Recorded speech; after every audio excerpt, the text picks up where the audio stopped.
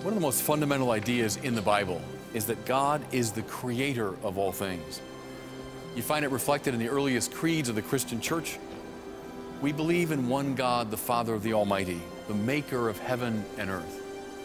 If God is the sheer act of being itself, then anything else that exists apart from God must have come in its entirety from God.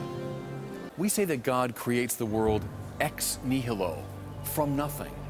That means that God does not impose his will on some rival power. God does not wrestle some opponent into submission.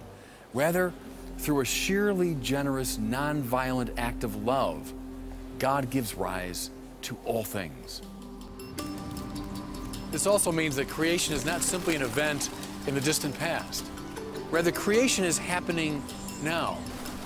Thomas Aquinas talks about creatio continua, continual creation.